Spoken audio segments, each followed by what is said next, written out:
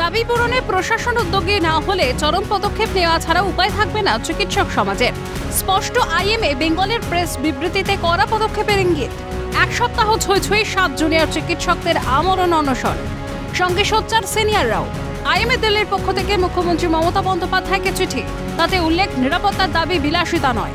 সরকারের প্রধান হিসেবে আপনি তরুণ প্রজন্মের সঙ্গে মীমাংসায় আসুন। ওদের জীবন বাঁচান। ভারতের চিকিৎসা মহল গোটা বিষয় চিন্তিত। শুক্রবার বিকেল পর্যন্ত রাজ্যকে সময়সীমা। সম্ভব নয়। আমরা আজকে বিকেল অবধি সরকারকে সময় দিচ্ছ। সদর্থক ভূমিকা না আসে তাহলে আমরা চরম পদক্ষেপ নেব। বার্তা গিয়েছে West Bengal doctors forum medical service সেন্টারের তরফেও। চিকিৎসকদের মরতে দেওয়া যাবে না। দয়া করে কার্নিভাল বাতিল করে সমস্যা সমাধানের চেষ্টা করুন। মুখ্যমন্ত্রীর কাছে আবেদন, ওয়েস্ট বেঙ্গল ডক্টরস ফোরামের পরিস্থিতির জন্য একমাত্র রাজ্য সরকারই দায়ী। দাবি চিকিৎসক সজল বিশ্বাসের।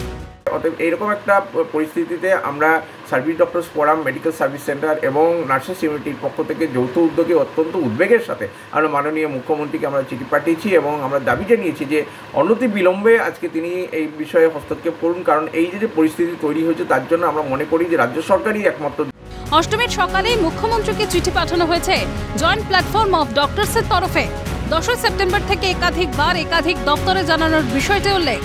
চিকিৎসকদের পদক্ষেপ নিয়ে মন্তব্য আর্যিকরের প্রাক্তন ডেপুটি সুপারের যে কোনো আন্দোলন সংগ্রামে যখন মানুষ জাস্টিসের জন্য লড়ে না, নানা রকম তাদের অত্যাচার সহ্য করতে হয়।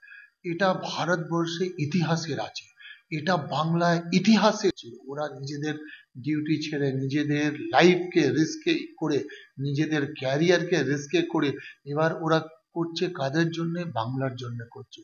রাজ্য প্রশাসনের ভূমিকায় আবারও নজর থাকবে। অয়ন শর্মা বিক্রান্ত রায়ের রিপোর্ট, ক্যালকাটা নিউজ।